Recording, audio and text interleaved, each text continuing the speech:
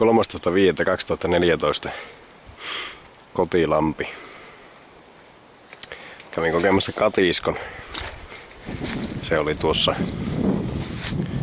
no, siinä reunassa, missä nyt edellisen kerran, edellisen kerran jälkeen siirrin tuohon niinkö tavallaan puoleen väliin kotirantaa ja tuota vastarantaa. Ja siellä ei ollut ketään. Ei yhtään kyllä. Se oli se katisko oli niinkö sanomatta jossakin niinkö nuilla kieppellä keskellä ruutua.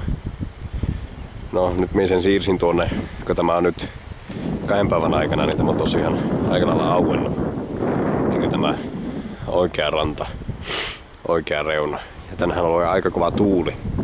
Se on painanut ne, ne vähät jäät, mitä täällä on vielä jäljellä, niin se on painanut sen niin tuonne, tuonne perälle. Tuolla itse asiassa tuo jokisuun reunaskin olisi jossakin määrin auki, mutta sinne nyt ei tietenkään pääse. Tai pääsi sinne varmasti tuonne hidettä tuo jää, mutta ei jaksa lähteä värkkäämään.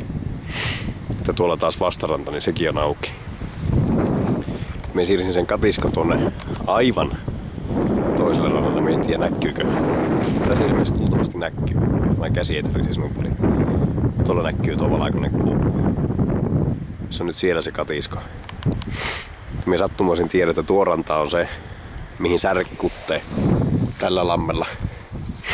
Niin, niin siirsin sen tuota, tuota, tuota katiskon sinne vähän niin ottamaan sitä, että jos se särki alkaa sinne ilmestymään jo.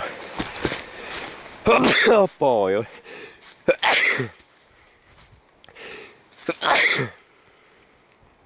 Jossakin vaiheessa. Jopa se aivastuttaa. Niin. Tosiaan oottelemaan sitä särjen kutua sinne. Ja nyt en tuonut verkkoja tiistai-päivä. Olen ollut tämän päivän töissä ja huomenna töissä ja tuota, sitten on No joo, jopa se haivastuttaa. Tuon kello on tosiaan kahdeksan jo tiistaina. Niin kerkesin tänne katiskoa kokemaan ja ei oikein viitti laittaa tosiaan niitä verkkoja, kun niitä ei pääse seuraavana päivänä varmasti kokemaan. Niin ei sitten halua ottaa sitä riskiä, että se jää sinne moneksi päiväksi. Se on kuitenkin semmonen homma, että minun mielestä ne pyyöt pitää kokea niin järkevin väliä joon, että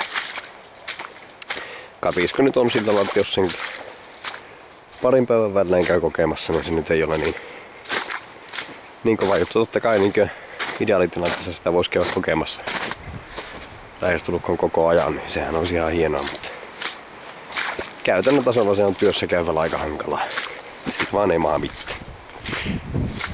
Tosiaan sunnuntaina se on koettu ja nyt on tiistai, niin siinä on niin maanantai-päivä välissä. Maanantai-päivä välissä vain, niin ei se ole paikka. Siinä ei tosiaan ollut yhtään kallaa mennyt.